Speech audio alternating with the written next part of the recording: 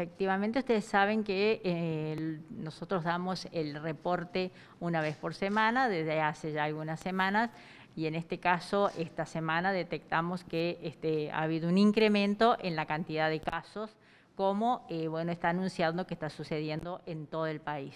Seguimos recomendando y ante el aumento de la cantidad de casos que sabíamos que esto este, puede ocurrir porque estamos en época de invierno, en época de frío,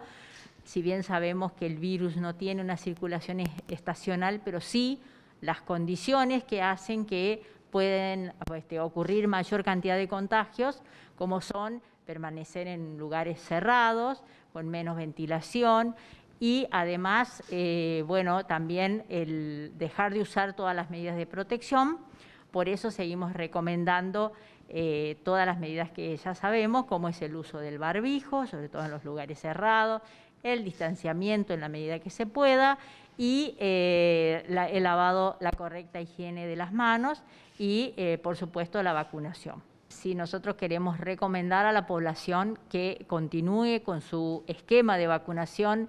eh, hemos tenido una baja en cuanto a la concurrencia a los centros, a las citaciones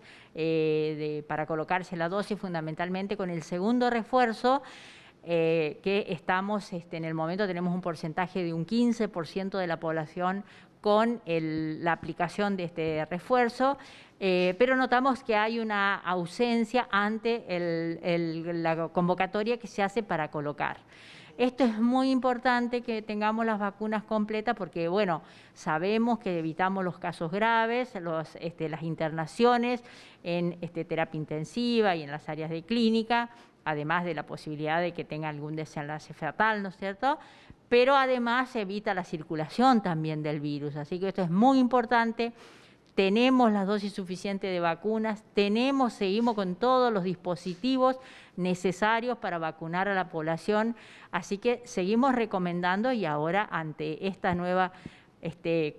nueva cantidad de casos que concurren a vacunarse